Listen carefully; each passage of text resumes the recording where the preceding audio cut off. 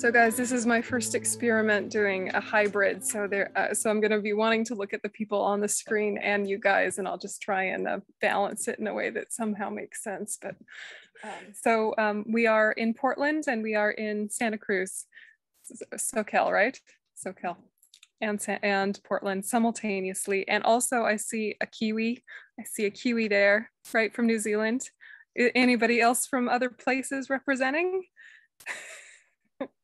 Uh, Canada. Mm-hmm. Canada, nice to see you. Nice to see you. And Ladan, are you in Canada too? Yes, I'm in Vancouver. Hi, everybody. And we'll just start with um, refuge in bodhicitta. And if you don't know the prayer, you can just really um, connect with a sense of inner safety that you gather from your own qualities like compassion and kindness.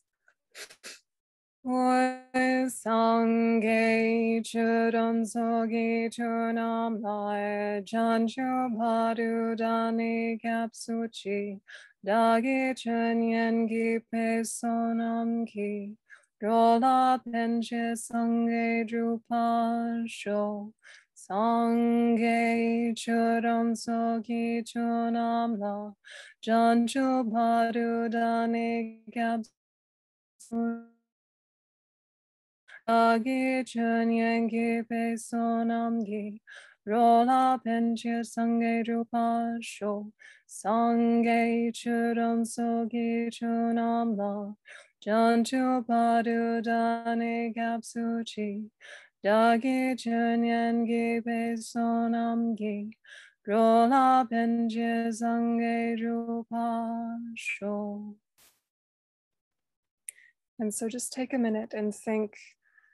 this practice is not just for this evening, but may it have a ripple effect, benefiting everyone in my life, benefiting anyone I interact with, and bringing momentum to my own spiritual path.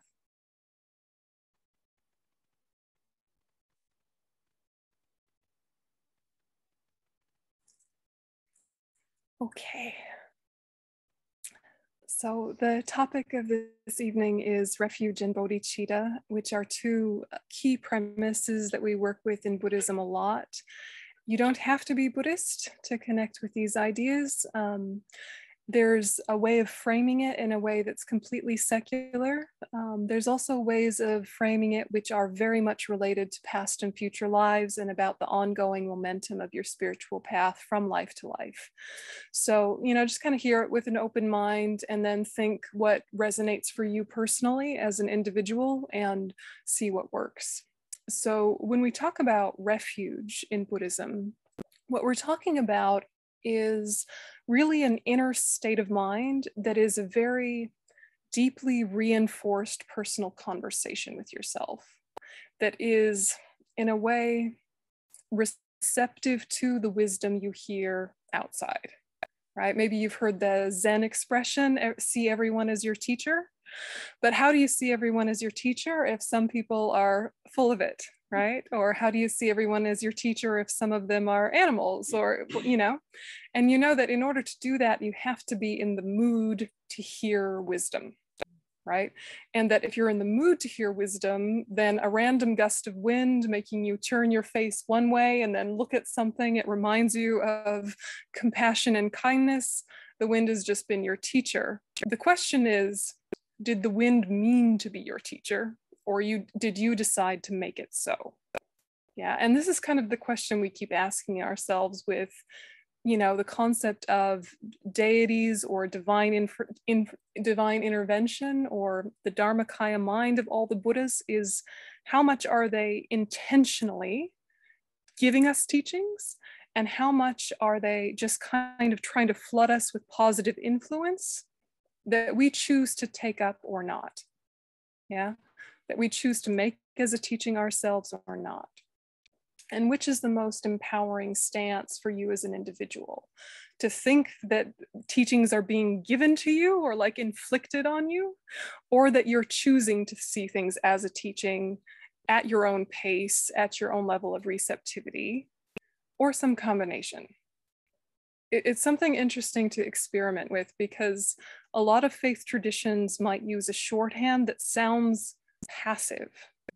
Yeah, like you're just kind of waiting to be taught. You know, I'm waiting for the lesson, I'm waiting for the journey, or I'm waiting for inspiration. And and how is it actually working? And if you were, I guess, in front of the best teacher that could ever be, would it make any difference if you weren't listening? And if you were listening very, very deeply, what couldn't be your teacher? Right? So it becomes this conversation of how do you make the inner guru and the outer guru collaborate? How do you make that meeting of minds that isn't passive, but isn't so solitary and so aggressively independent that you're missing out on the fact that there is support? You know, that kind of meet. Now, technically in Buddhism, when we say taking Buddhist refuge, that's what like makes you a Buddhist, right? Your core is refuge in Buddha, Dharma, and Sangha.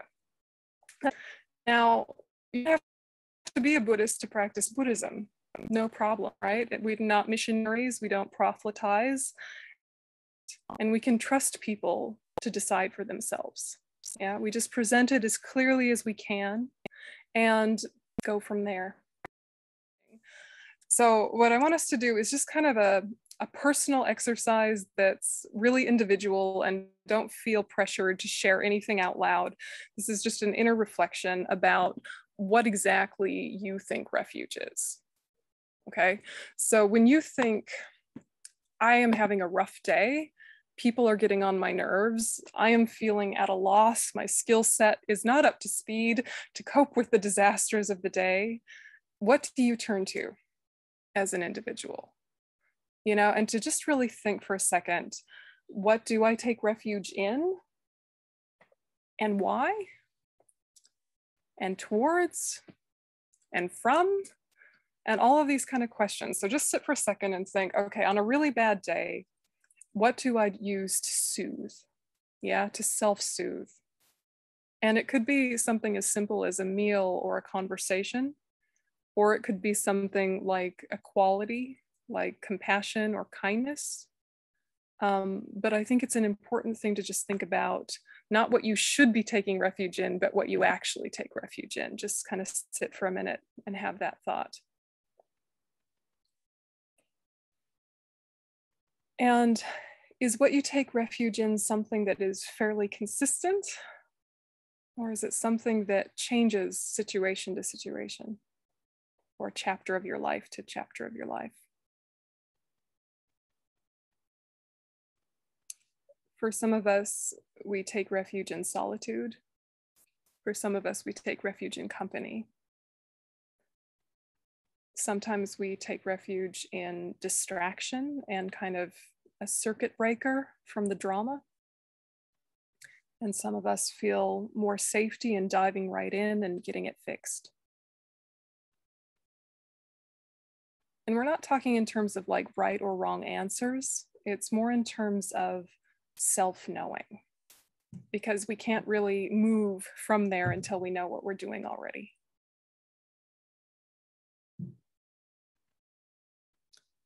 And if you were to ask yourself, what's the main thing you take refuge from, or like are moving away from, or feels like it's the source of pain, or the source of distraction, or the source of distress in your life, how do you frame it? Taking refuge, getting away from people who are difficult, or from your own kind of mental state, or what is it exactly? Just kind of like explore that for a sec.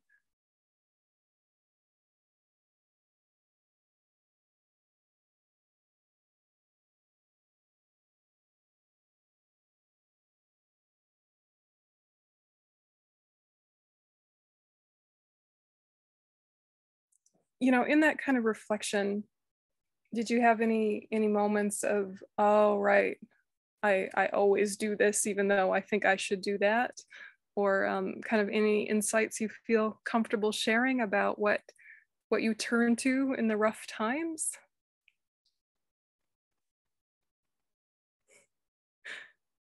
The Zoomers are smiling, but not sharing. the in-person people are half masked. It's hard to know. I can share. Yeah, sure. I think what was so interesting for me is that when I do my spiritual practice, it's in the morning when I'm at my best. Yep. And then when right now, when I'm at my worst in the evening, I want to like check out, watch TV, listen to a podcast. Yep. So that's interesting to think, oh, that's what I'm taking refuge in. Even though I have my spiritual practice. Yep. It's not what I turn to. Yeah. I'm having a hard time. Yeah, they were saying that um, you know the the healthier refuges are more are, are easier in the daytime, and then as the day progresses, they become more and more worldly. Is that a good summary? yeah, yeah, I think that's pretty darn common. Yeah, for sure. And maybe it's just in terms of stamina. Maybe it's as simple as stamina as how much kind of mental energy do you have by the end of the day to touch into things that are healthier or more long term whereas in the morning you're fresh and you can kind of launch yourself well but as the day progresses you kind of lose the will a little bit. I think that's that's pretty common. Yeah.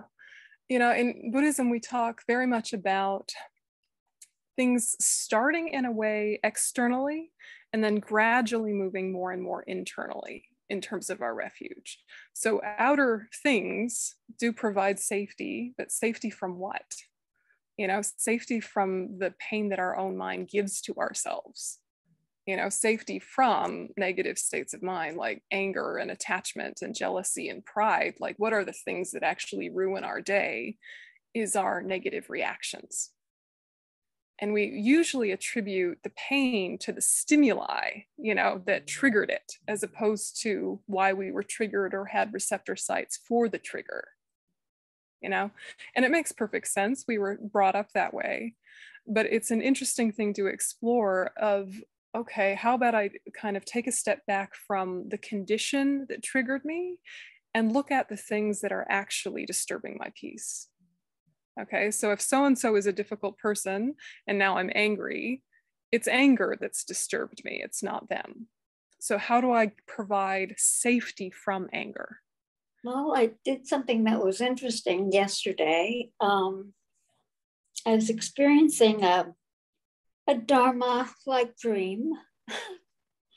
and um, what it was, I was um, upset about, uh, mostly had to do with um, buying a um, somewhat expensive walker that I needed very much.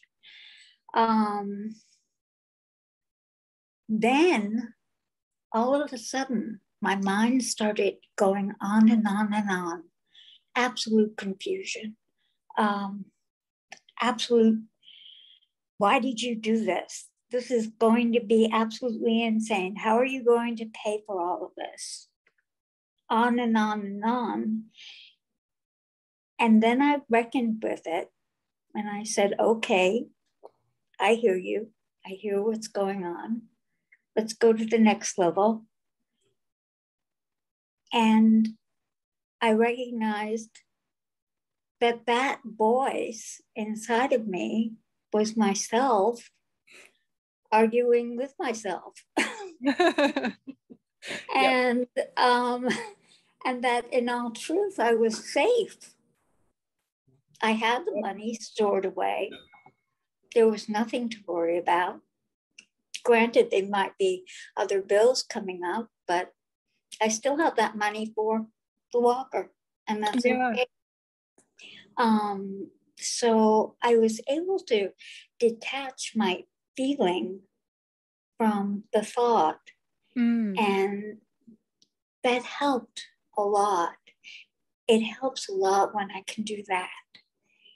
Yeah yeah that makes sense and and i think we can we can all relate to you know kind of a, a habit of panic or like a habit of deprivation a, a feeling that um, this is not going to be enough. If i do this i can't do that. Or what will i do tomorrow if i do this now? And that kind of like habit of panic whether it's true or not. And then what happens when you have a negative state of mind is that your kind of clean, clear mountain lake mind becomes like a boiling lake. And then you, you know, nothing is reflected clearly in that. So you're stifled. you know, and your kind of problem solving abilities are squashed a bit because you're rumbling too much to access your own wisdom and even your own common sense. So your possibilities narrow to fewer and fewer. So, you know, it sounds like you're already able to kind of catch yourself going down that that road and go, nope, nope, nope, nope, nope. Come on back. Right.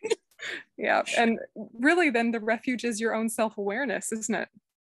It is. It yeah. really is. It's it's that and it's my self-awareness, my self-compassion. Yeah. As as well. Um, I have to really be careful about that because when my inner critic goes on, it um, I have to remember I need some compassion here. Yeah. Yeah, hundred percent. 100%. Yeah. Does anyone else feel comfortable sharing what has worked and what has not worked or where you go? Yes. Can I share? Um, sure. Yeah. Where am I? Yeah, I can't see I you, darling. I think you've turned your video off. There you are. Found you. Yes. Um, I think when at, at morning time or when you just wake up and the uh, the day is hard, you know that there will be some challenges or health or something um, important. Um, I think when when I try to be conscious about that, now that I know that consciousness is helping me, when I put a little bit of light on the part of I, I'm going to, it's helping a lot. Mm. Like if it's happiness, like the happy emotion or sadness or something old is coming back, when I'm consciously look at it or write it down, it's much better. Yeah. So I, I don't know if it's refuge or, yeah, it, it's kind of inner refuge. Yeah, it's a strategy that works, you know, and it sounds like kind of putting it external to yourself helps you see it more clearly. Yeah. Yeah yeah no i like that. I like it. Thank you. So okay so we're going to look at buddhist refuge and i think that a lot of you already kind of know this drill but i think just to kind of kind of come back to it here um, what we've got are from a buddhist perspective we take refuge in the three jewels. Okay put a pin in that we'll come back to it.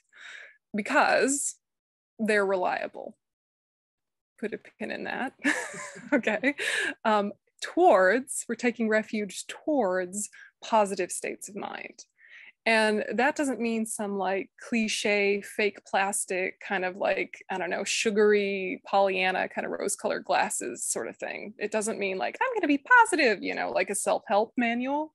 It means like a genuine positive state of mind that's constructive, that's empathic, that's kind of just deeply connected to the big picture as opposed to the everyday stresses and the everyday kind of waves that come through. And it's away from negative states of mind, which isn't to say you can't see what is negative, you know, which isn't to invite us to do what's called like spiritual bypassing, which is to kind of jump over our feeling to what we think the solution should be without feeling the feelings in between right? Because we know that doesn't work. We know jumping over the feelings or suppressing them or like full indulgence, going into catharsis, those strategies are short lived. They're not ideal. But to say we're retreating from negative states of mind means that we're cultivating a self awareness that can catch them in their infancy. And you know that when you're like just a little irritable, or just a little kind of ennui, depressed melancholia, when it's just starting to creep up, if you turn towards it and look at it, it almost like gets embarrassed and runs away. You know, it's like, okay, no, I'm not feeling that. Just by the power of your self awareness, it starts to kind of diffuse. And you almost don't need another antidote besides that. But as soon as it gets ahead of steam, as soon as you are in a mood, you cannot talk yourself out of it right? And if someone else tries to talk you out of it you're going to just want to punch them you know they're like just relax when you're really stressed right? Just relax. You're like you relax you know right? It's like it's not going to work. So to retreat from negative states of mind means just sharpening up that self-awareness that can catch the tendencies that we already have and kind of know when our stressors are so that we can kind of nip things in the bud when they're small enough to do so. And that also has the self awareness and like sense of humor and like self kindness enough to know that we will forget and we will get distracted and we will lose the plot again and do the wrong thing again and be in a mood. And you'll know that the last time you were in a mood, it was not really a success to send emails from that place, right? Now is not the time to text, right? Now is not the time for like the important family conversation or like, you know, I'm going to implement implement boundaries that I've been sitting on for 20 years and now's the time I'm going to tell people about them. No. You know yourself well enough to say, let's just let this roll through and revisit you know save to draft right just like take a moment you know so you're not saying i can't feel this way or i shouldn't feel this way or trying to stop yourself feeling this way you're saying decisions aren't best made from this place. And i won't feel this way the whole time of the rest of my life. If i don't feed it it will die a natural death. You know so you're just kind of letting it roll through and doing damage control and just kind of like sit on your hands until you you know don't touch anything right? And just kind of like in that way. So you've got your pre-strategy pre-negative state of mind strategy and then you have the oops too late missed my window here's what i do in the middle of the mess strategy and i think that's a really effective way to proceed so then you why Fear and faith. Now, these are directly from the Lam Rim. These are words directly from the Buddhist scriptures. We take refuge because of fear and because of faith. And I put those words just as they are because they will freak you out when you read them and you'll think, oh no, we're like every other religion. Oh God, oh, even Buddhists. Uh, it should make us annoyed to see those words. Is everyone properly annoyed, right? What do you mean fear and faith? Not again. But when Buddhists say fear and faith, they're talking about something really specific. Okay, so what we're talking about is, I don't know, like a, a fear that's healthy it's a healthy apprehension about what your untamed mind can create, right? It's a healthy fear that says, if I don't rein in my negative habits, I will hurt people. I don't want to hurt people. In the past, I have hurt people. Let's just take a moment and acknowledge that. And often I've hurt people without any intention to do so. Just I was distracted, or I was careless, or I let something fall through the cracks. You know, we're not plotting the destruction of humanity in a back room somewhere. We're nice people, right? We don't want to hurt each other. But we do when we're distracted, and we do when negative states of mind have got hold of us. And so, this type of fear that we're talking about is just fear of letting that habit continue. Yeah. So, it's not fear that someone is going to punish us. It's not fear that someone's going to say, You're bad, you can't be a Buddha now, or something silly right? It's saying it's a healthy assessment that some of my habits are not the best. And then it's faith based in experience and logic that the three jewels, the Buddha, Dharma, and Sangha, offer tools to like save oneself from suffering, which really means that your mind is trainable. Yeah, this faith is really a conviction in your own abilities. That if you give it enough space and time and wisdom, you can train yourself out of a lot of your nonsense. And remembering that you've already done so kind of gives you some fortitude in this moment. So, so for example, I was thinking about how when I was a teenager, I was really sarcastic. Yeah, and I even prided myself in being like very sassy and sarcastic and like having one-liners and really zinging people who were being, you know, rude or disrespectful or something. Like I really, I was proud of myself. And then I met the Dharma and I was like, that's kind of mean. that's mean. That's actually not ideal. That's not really the way I want to communicate. And you know, let's let's grow up, kid. Let's grow up. And and of course what the problem is is that it was a habit. Right? It, so it's not like I could just say stop being sarcastic. You know, still I'm sarcastic, just not quite as bad, you know. But it, what it means is that I have conviction that if mm, I orient my priorities to being a wall, I benefit. When I think, let's do my benefit first, and then if I've got anything left, I'll give it to you guys. that doesn't work. And it's counterintuitive because it feels like you got to fix yourself first. But actually, if you think of all sentient beings, that includes you, but it includes you in the right proportion, right? So, what happens, like, you can picture someone who is really in a depressive spiral that is not grief or trauma related, that's just like in a rut and the way that maybe they or you or ourselves can kind of spiral downwards with too much self consciousness. You know, not self aware, not introspective, but just how can I be happy? How can I be happy? What do I need to do? No one understands me. No one loves me. Nothing's going right. What can I get for me? That that is actually a very miserable, suffering state of mind. And then as soon as one is kind of got enough mental space to consider I must take the dog for a walk, right? And then you take the dog for a walk, and then you see other humans, and maybe some small child has just fallen down and skinned their knee, and you think, oh, poor small child. And you've just, you know, helped another sentient being for two seconds. When you get home, you feel better. And it's not like you were neglecting yourself, it's that you were putting yourself in the correct proportion. And that's actually a tremendous relief but it's it's counterintuitive isn't it yeah you think i got to look after myself first but only thinking of yourself is almost like too much pressure yeah and our mind is so powerful to put all of that powerful mind just on this one little sentient being we almost implode you know we create like a black hole so if you can kind of expand outward which is the last thing you want to do when you're depressed but if you can try you'll find your own relief comes.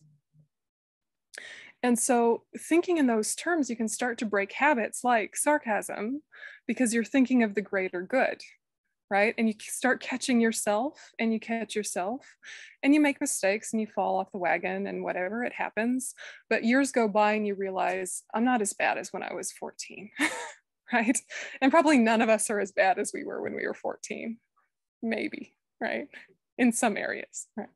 right in the in the places that matter you know and you know remembering that gives you faith in yourself and that is the faith that we're talking about in buddhism which is based on experience and logic and a deep understanding that you are not a lost cause and you never will be yeah so when we say fear and faith in buddhism that's what we're talking about no one's going to punish you. No one's going to reward you except your own mind.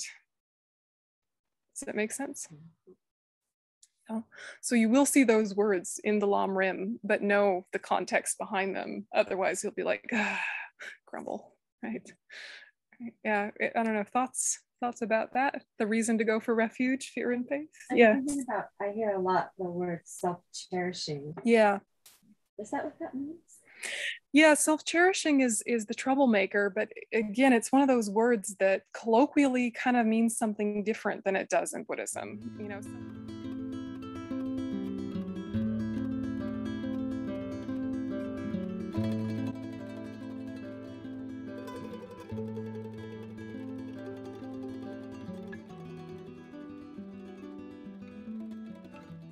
you know self-cherishing in buddhism means exaggerated self interest, like just good old fashioned selfishness. It's not about looking after yourself, it's about looking after yourself at the expense of others uh-huh. or with indifference to others. You know, so you're so much in your own bubble that you don't even notice the chaos in your wake. Uh-huh. So in Buddhism, that's what self cherishing means, and that's why it's negative. Yeah. When I'm uh, really stressed, I um, find the nearest couch, bed, or floor and stare at the ceiling. Yeah, that's a way. Yeah, yeah.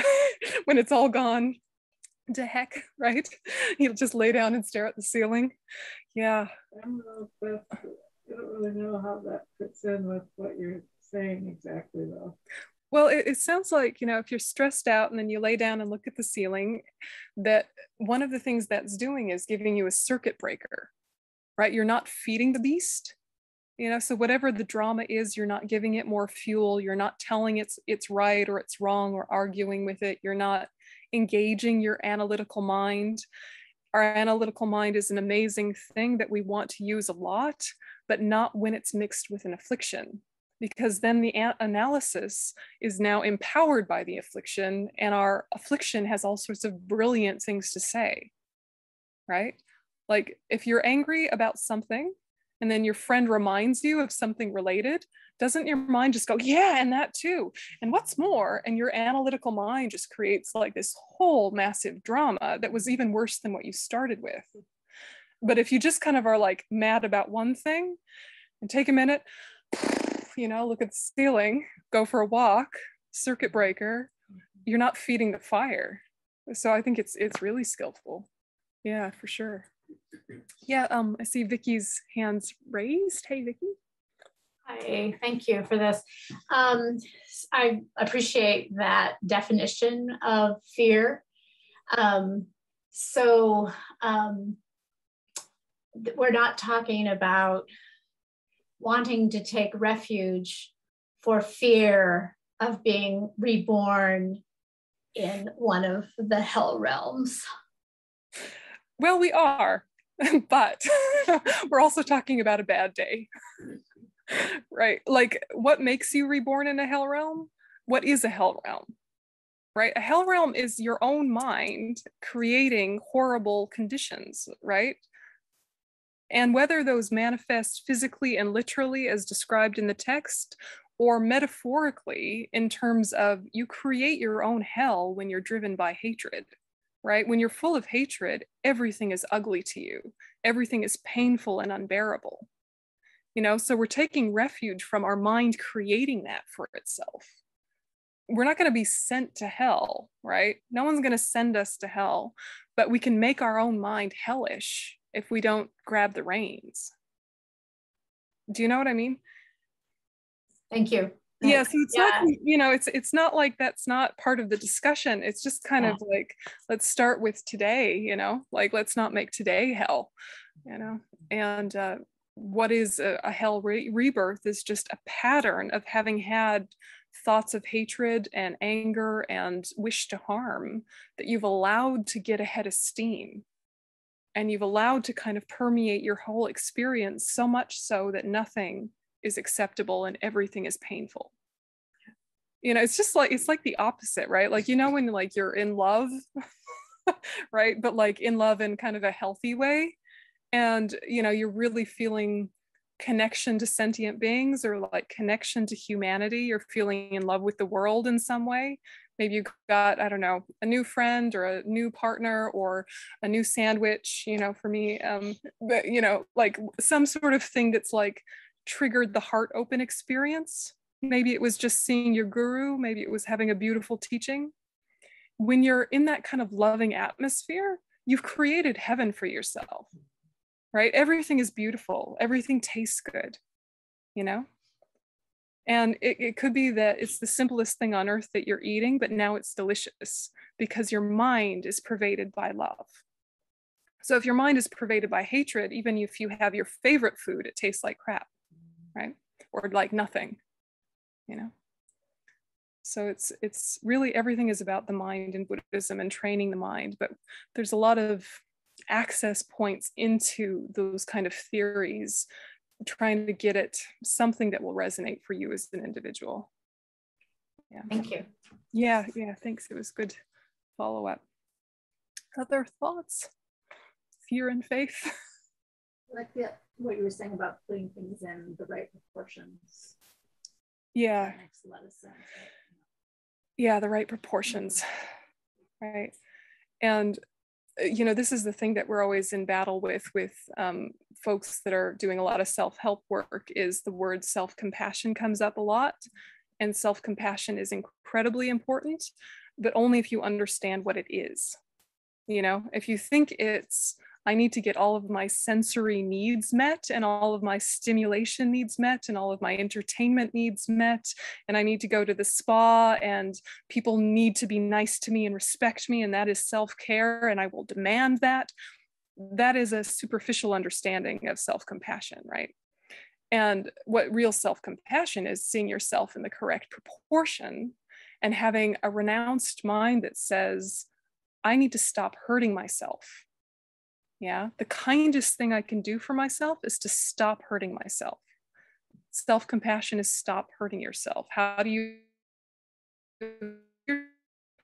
You allow anger to get a foothold and ruin your relationships and your day and your health, you know, or you allow attachment to get a head of steam and you just become like Cookie Monster with everything. And it's like never enough, you know? So the kindest thing you can do is to train the mind. And real self compassion is thinking about what are the conditions that give me enough mental space so I can train my mind? If I'm super, super busy with a million things and I never have time to just be, then my creativity again doesn't have any space to explore what habits are problematic. You know, what am I going to be regretting on my deathbed? You know, what am I going to be pleased with on my deathbed to kind of really revisit your deepest priorities requires a certain amount of mental space. And so it's kind to just sit with yourself a little bit and ask those deep questions. You know, when I'm when I'm there on my deathbed, what's going to be important? Right? Probably your spiritual path and your relationships. And hopefully some sort of positive legacy in the people that you leave behind you know not a legacy of criticism and a legacy of i don't know deprivation mentality and this is never enough and that is never enough but a legacy of kind of like acceptance and love and you know really enjoying the diversity of humanity and enjoying you know being good stewards of the earth and all of the good you know the good stuff right? And we each have our own version of what those priorities are but we have to come back to them on purpose for them to have power. To just kind of let your life priorities live in the abstract or live in the amorphous realm deprives them of real intention you know? So you want a powerful life. You have to think about what's important to you on purpose regularly so it can drive you.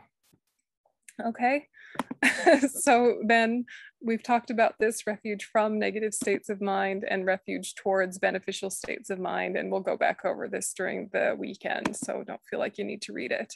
But let's just kind of touch what is bodhicitta, because that's the other thing that we're going to be sitting with this weekend. Um, bodhicitta is the mind of enlightenment or the spirit of enlightenment or the heart of enlightenment, depending on your translator. Um, Junchuki Sem in Tibetan and what it really means is it's your main motivation, right? As a Mahayana practitioner, it's this altruistic mind that seeks enlightenment in order to benefit all sentient beings. So there's lots of different kinds of bodhicitta, ultimate, conventional, aspiring, engaging. You know, it's another conversation for another day. But the big thing that we're looking at here is what is your drive? Yeah, when you wake up in the morning, what is the point of your life? Yeah and the first point in your life might be coffee go to the toilet but like once you kind of get yourself together right what's the point of your life you know? And if you can think whatever i do may i be of greatest benefit to all sentient beings which again includes you you're not leaving you out of all sentient beings but just may i be of benefit to all sentient beings and may that altruistic aspiration lead to my fullest potential what is my fullest potential? Perfection, which is a tricky word and is a problematic word for a lot of reasons. But what we're talking about is Buddhahood, becoming completely enlightened. And if your goal is this giant project, many, many wonderful projects get accomplished before, right? Or as a side effect. And it's not about necessarily getting enlightened in this life, it's about having a momentum that loves altruism. You know, it's about a mental momentum that seeks connection with others, that seeks to forgive and understand and be of benefit to others, which again brings so much joy to your own life. So you think, all right, I want to benefit all sentient beings and I want to be a Buddha. These two aspirations are the heart of bodhicitta benefiting others, becoming a Buddha. So, what's the relationship, right? Like why do i need to be a buddha? Why can't i just be a nice person? You know that would be good a good citizen right? Like recycle more like i could start composting you know like can i just be a good person? Like of course be a good person. But wanting to be a buddha means you want your benefit to others to not be an educated guess anymore. You want to step up from an educated guess. You know, like if your best friend has just lost their partner, they might want you to be right there, stuck to them like glue, cooking for them, cleaning for them, watching stupid movies, playing their favorite playlists, taking them to meditation retreats, giving them lots of hugs. Or they might want space and they don't want you to touch them and they want you to leave them completely alone and they genuinely need their space. Now, if you've known them for 20 years, you can make an educated guess. They're going to want company or they're going to want space. But do you really know? And day by day, do you really know? It's an educated guess, right? And it's worth doing, but we really don't know what's the best thing for people. Like what's going to bring out the best in them long term, what's going to facilitate their spiritual path, what's going to open their heart. We don't know, we can only guess. But if we were a Buddha, we would know because we would have that level of clairvoyance that would say, right now, silence, or right now, talking, Right now, contact. Right now, no contact. We would know precisely without mistakes. And, you know, it kind of begs the question then, like, what are Buddhas up to, right? Like, why do I need to be a Buddha? There's already lots of Buddhas, right? Why do I need to do this? And the answer is that just because someone is enlightened doesn't mean they have a strong enough karmic connection to directly get through every single person's karma, right? But we have a strong karmic connection with lots of people, right? With our friends, with our family, with our pets. And it might be that they will only hear the Dharma from us, yeah, because of our relationship to them and our closeness to them. So, His Holiness the Dalai Lama could say, You will feel better about life if you cultivate patience. And your friend would be like, Yeah, that's nice, sweet old man but they hear it from you because you have a relationship right? If you and you see them and you know them right? And it could be that the buddhas are working through you to talk to them or it could be just your karmic connection with them. As your wisdom builds you're able to touch more of their wisdom. Yeah you're you can be the one that elevates the conversation or elevates the energy in a room by bringing out the best in people. But that means you have to have done the inner work yourself so right now what are the buddhas up to? They're up to everything right? They're trying to benefit sentient beings every second of every day in a million ways mainly through our teachers because the best way to help sentient beings is to teach them how to help themselves.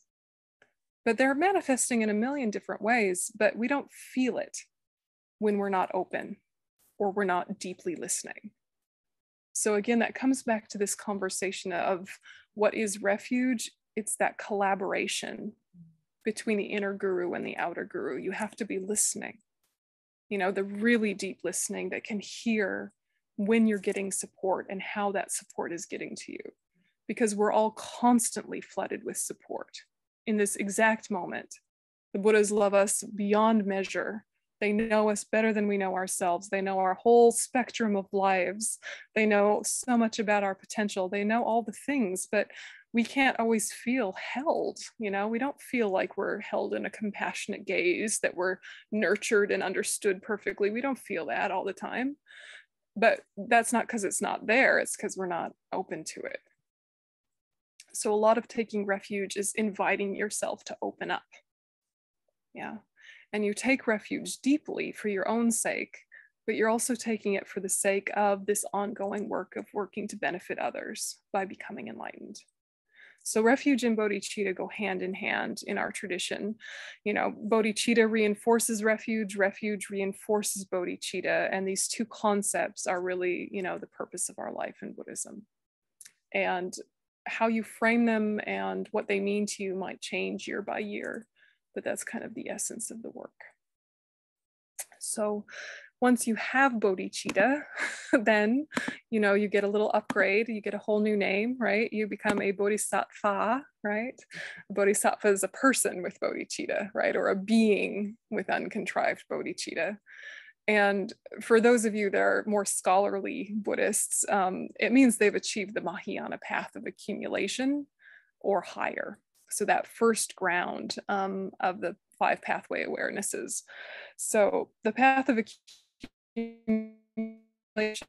is something that means you've had a fundamental cognitive shift, for lack of a better word. It's a realization, which basically means that you've switched from liking an idea and believing an idea for it to being how you always think. Yeah, can you kind of imagine that? It's a little bit like, you know, when we learned to read, we had to practice the alphabet again and again and again. But now we look at a page and words kind of jump out at us. But it took a huge amount of repetition for that to happen. And the same is true of bodhicitta and refuge. It's like you like the idea, you're on board with the idea, but it's not like you remember it all the time. It's not that it informs every second of every day, but it can, right? It can. And what makes it do that is just repetition. Yeah, repetition combined with a marriage with your own wisdom. So, part of the reason we study is to keep coming back to these things that we have understood intellectually and we have understood experientially in some way, but we have to revisit them so that we can go deeper and deeper until they become how we actually feel moment to moment. So that's why it's sometimes tricky to be a Dharma student and keep coming back to the same content again and again. It's like, I've understood this, let's move on. But understanding is the beginning, not the end, right? As soon as you've understood it, then you can start practicing it. So are there any questions before we do a little sit? Or any um, insights? It's on my mind. So repetition and wisdom mm-hmm. and a teacher. Yes. That's just what's coming to my mind is that I did repetition and I maybe had some wisdom. And when I met my teacher, everything Yeah. So that's just my truth. I don't know yeah. how it is for other people. Yeah. But for me, that was a really crucial part of the puzzle. Yeah. Yeah. And that, it's an important addition. They were bringing up that um, the repetition and the study and all of those things are important, but the teacher kind of, right, sealed the deal. Yeah. And why? You know, this is the deep question. Why do you need a teacher when you could just read it in a book or you could just, you know, listen to your grandma or whatever? And the thing is, is that to have someone who embodies the things you pursue makes you feel like they're possible, doesn't it? You know, you can read about amazing things, but until you see it enacted in front of you, it's hard to believe that it's possible. And, you know, whether it's a baby teacher that's just like a couple steps ahead of you that reassures you that some progress is possible, or it's a teacher that seems to be fully enlightened themselves, but who can say because we can't take another person's measure either way, it's inspiring and it helps your momentum. And that's why kind of live teachings, even if it's not even with your own teacher, live teachings, the collaborative energy of everybody in the room, it kind of like warms up your own wisdom. So you can start kind of hearing your teacher again, you know, in whatever form they're in. And, you know, I think that that it's a very important piece, the teacher. Yeah. Yeah, Leslie, did you want to add? Yeah.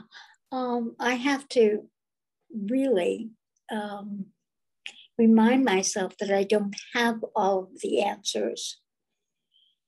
That um, and that I and that's why I turn to my teachers um, because otherwise, um, you know, when you get to a, a, a certain point and someone will say, Oh, you've learned so much, and yada, yada, yada, and all of that. You forget you're a person. Yeah. And granted, I want to get to the, you know, the level of Buddhahood or Bodhisattva, all of that, but I'm not there yet. You know, right, right here, right now, I'm just regular Leslie. Yeah, it's it's a it's an interesting place of identity exploration to like feel very confident that you can become a Buddha while at the same time acknowledging that you aren't a Buddha yet. And it's actually far closer to who you really are to think about your Buddha nature than to think about your afflictions, right? If you're identified mm-hmm. with kind of your surface personality stuff, a lot of that is just a chaotic mess that you developed over a few decades in this life. You know, your family of origin issues and your genetics and your conditioning and your, you know, all the things is actually relatively new. But your core, for lack of a better word, even though there's no inherently existent self, there is always Buddha nature in this consciousness. This consciousness has always had Buddha nature and always will until it's fully actualized into Buddhahood. And that has been with you way longer than today's personality it's a better place to put your identity but it's not it, done yet right you're not quite it, cooked right it, it's kind of difficult you know to um to make a balance between the two because yeah. you know i really want so to um to help all you know mm-hmm. all sentient beings but i have to also reckon with the fact that i'm learning. Yep. I think that i think it's a good approach and if you just remember that you are not your mistakes you are not your afflictions you know that these are learned behaviors and responses that made sense at the time so you just do your best and you let go. You do your best and you let go and the years go by and the lifetimes go by and hopefully you just keep on getting better at it but i think the main thing is clarifying your purpose and coming back to it again and again clarifying your purpose and keep coming back to it. This is really the heart of the spiritual path because then it makes it more and more forefront in your life. You're talking about altruistic intention then? In a perfect world, yes, but I don't want to assume everyone's Buddhist, right? yes. In a perfect world, yes, bodhicitta is what you keep coming back to again and again and again. But um, it can it can be something more secular. It can be something like, may I enact peace inner and outer. Hmm. You know, may I be compassion internally and radiated externally. You know, it doesn't have to be put in a Buddhist framework if that doesn't feel comfortable to you, but an orientation that understands what is the core of your life and what is the heart of your priorities, mm-hmm. you know, and to just keep touching in and touching in. Maybe it's service, you know, maybe mm-hmm. it's just love, you know? But uh, clarifying that is really important and then when you come back to it it builds power and depth. Yeah but yeah ideally bodhicitta from our perspective. Yeah. Thank you. You're very welcome. Okay so we're running out of time to sit for tonight but um, we'll do some sitting tomorrow. Um, are there any last minute thoughts before we call it a night so we'll just take a minute and uh, dedicate all of the merit of the session so just think to yourself all of the thoughts I've been having just now, whether they were confusion or clarity, may it all go towards actualizing my fullest potential so I can be of greatest benefit to all living beings.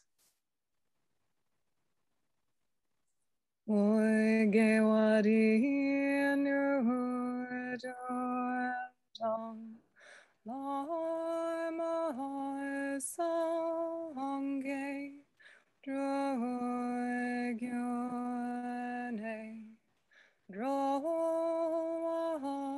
chinkyang malupa dei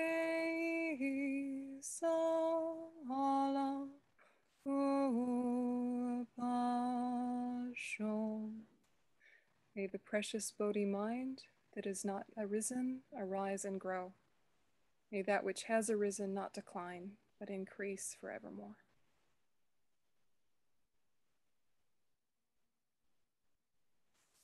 Okay. So good night, folks, and I'll see you tomorrow. Good night, folks. Thank you so much. Thanks. Thank you, everyone.